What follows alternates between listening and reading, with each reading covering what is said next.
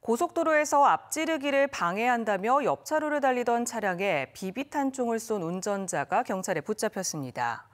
충남경찰청 고속도로 순찰대는 지난 24일 밤 9시 반쯤 대전 통영고속도로 남대전 나들목 인근에서 옆차로를 달리던 승용차 조수석을 향해 비비탄총을 여러 차례 쏜 40대 운전자를 특수폭행 혐의로 입건했습니다. 두 차량은 앞서 추월 문제로 시비가 붙었던 것으로 알려진 가운데 경찰은 정확한 사건 경위를 조사하고 있습니다.